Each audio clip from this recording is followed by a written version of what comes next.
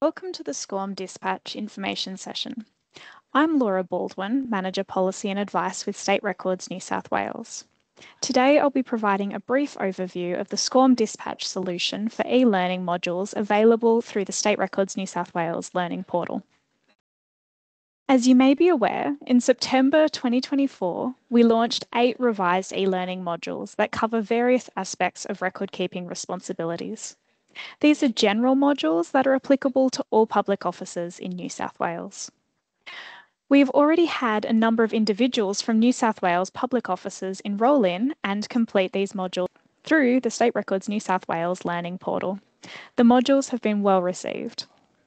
We are aware that some public offices would like to use some of the revised modules for their own organisation, but have a clear preference for hosting the modules internally in their own learning management system or LMS. We have some exciting new functionality available through our learning portal.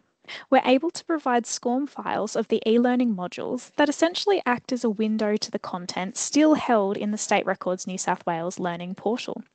You'll notice when you download the SCORM files that they're smaller than you would expect, and that's because they only point to the externally hosted content rather than actually containing it. New South Wales public offices can download the files and embed them into an LMS as you would with any other training content. This means you get to retain oversight on completion statistics. You can make the content mandatory or assign it to specific roles in your organisation. You could also choose to create additional training content around the State Records New South Wales files, which could be tailored to your own systems and policies.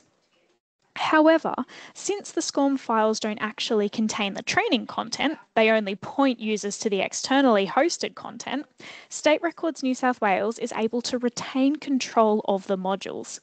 This is great for everyone because it allows us to ensure that the training remains current. If there is a legislative change or a URL update, we can amend the centrally hosted file and all embedded modules will automatically point to the updated content.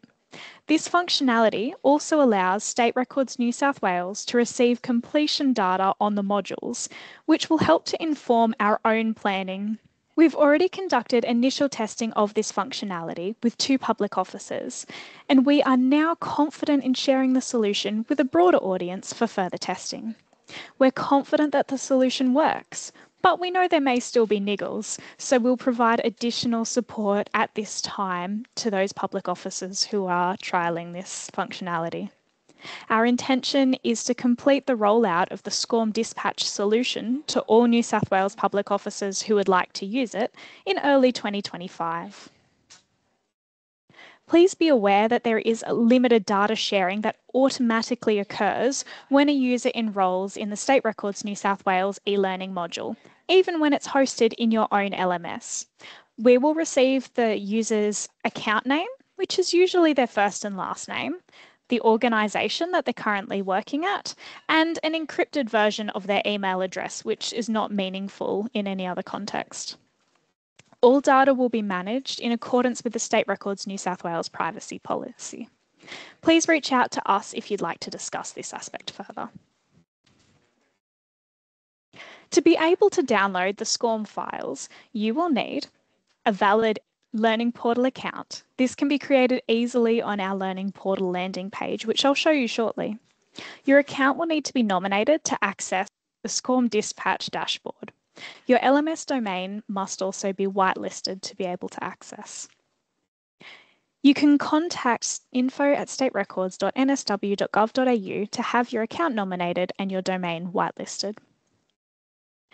I'm just going to share my screen now so that you can see how easy it is to download the SCORM files. Okay, so you'll see that the State Records New South Wales Learning Portal landing page is currently on the screen.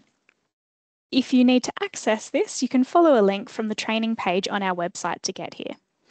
If I click on Login, which is in the top right hand corner of the screen, it will then take me to this login page. If you already have an account, here you can just add your credentials and then click Login. If you don't have an existing account, you can click Create New Account to create one. Because I have an account that's been nominated to access SCORM dispatch files, I'll automatically land on the SCORM dispatch page when I log in. You can see here that the eight revised e-learning modules we have available are clearly accessible.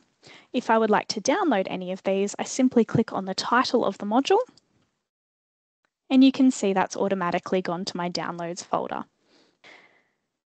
These are in your downloads folder. They can then be loaded into your LMS following your usual processes.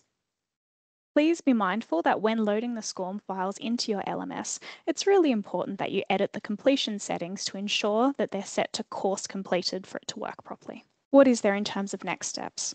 So there's a PDF available on our website which can help support you in the process of downloading SCORM files to then embed them in your own LMS.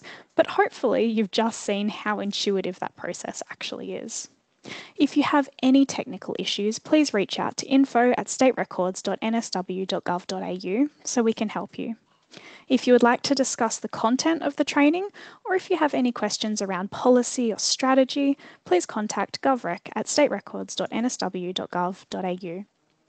State Records New South Wales will follow up with public offices in the new year once we've seen a number of users from your organisation complete the course, just to discuss the implementation process, how it was for you, and potential opportunities for improvement, maybe also opportunities to develop further guidance or training material.